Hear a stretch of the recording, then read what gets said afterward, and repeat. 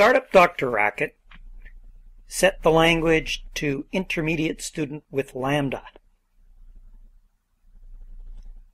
To work with graphics, you'll require picturing programs. Once you've entered the closing parentheses, either click Run or type Control R to read in definitions, then Control D makes the interactions pane large, and grab an image to work with.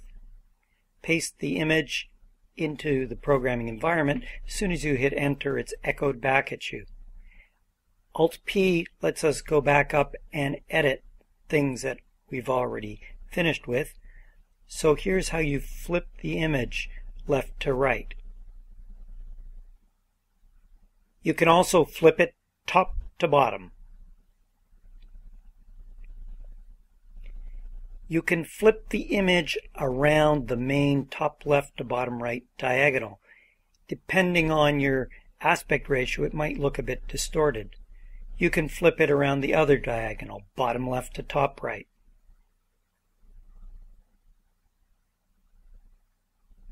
You can change the size of the image. You can scale it, make it larger.